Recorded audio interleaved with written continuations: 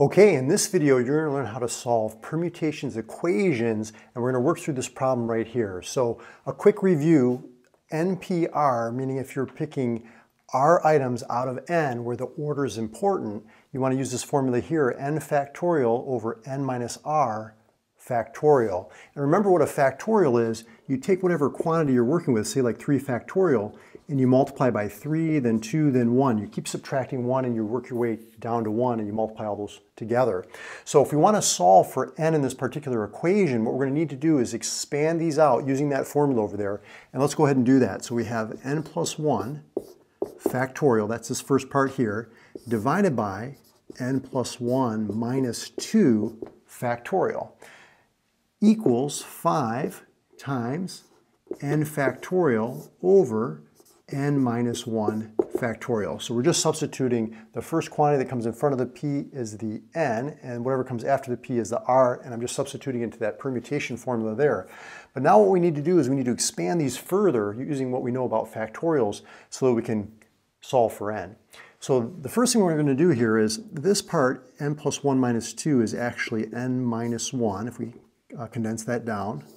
Okay, and so now what we're going to do is I'm going to take this n plus 1 factorial. And remember how we said that it keeps multiplying uh, down to 1? So we keep subtracting 1 each time. So n plus 1, then times n, then times n minus 1, dot, dot, dot, all the way down to 1.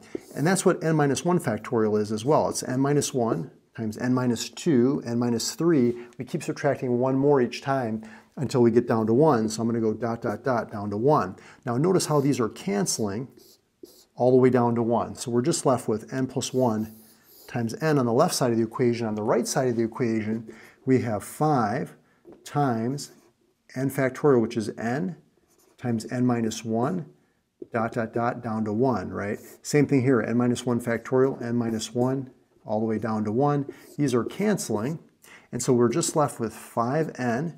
On this side, we have, let's distribute, we have n squared plus n. And what we're going to do is we're going to get everything on one side. So I'm going to subtract the uh, 5n. So that's going to give us n squared minus 4n equals 0. And if we uh, go ahead and factor out an n, we get n times n minus 4 equals 0. And if we set each group equal to 0, n equals 0 or n equals 4. Now, in this particular problem, 0 doesn't really make any sense because we can't have 0 p1. We can't say we're going to pick one item out of zero. That's, that's just not possible. This is an extraneous root or solution, so it's going to be just n equals 4. And you can verify that for yourself by putting it back in and making sure that both uh, sides of the equation equal each other. So if you want to see more about simplifying factorials, check out the video that I did right there, and I'll see you over in that video.